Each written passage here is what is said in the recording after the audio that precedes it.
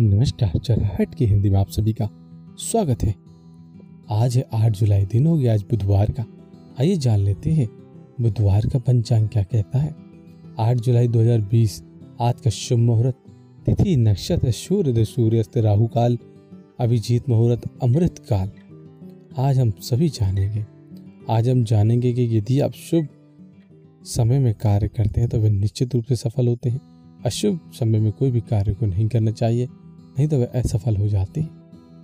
आइए जान लेते हैं, आठ जुलाई 2020 का पंचांग। तिथि तृतीय तिथि है जो कि सुबह नौ बजकर अठारह मिनट तक है। पक्ष कृष्ण पक्ष चल रहा है। नक्षत्र धनिष्ठा नक्षत्र है। माह श्रावण का महीना चल रहा है। सूर्य सुबह पाँच बज के चौदह मिनट पर होगा, वहीं सूर्य शाम छः बज के पाँच मिनट पर होगा।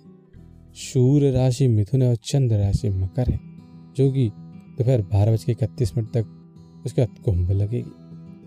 आइए अब जानते हैं आज का शुभ मुहूर्त। आज के दिन कोई भी शुभ मुहूर्त यानी अभिजीत मुहूर्त नहीं लग रहा है। आज के दिन अमृत काल दोपहर दो बज के सत्तर मिनट से, दोपहर की तीन बज के अट्ठावन मिनट तक है, सर्वात सिद्धि योग आज के दिन कोई नहीं है, आज के दिन कोई रवि योग भी नहीं लग रहा। आइए अब जानते हैं आज का अशुभ समय। आज का जो राहु काल का समय है, वह दोपहर बारह बज के तीन मिनट से दोपहर एक बज के पैंतालीस मिनट तक रहेगा। गुलिक काल दस बज के बीस मिनट से बारह बज के तीन मिनट तक रहेगा।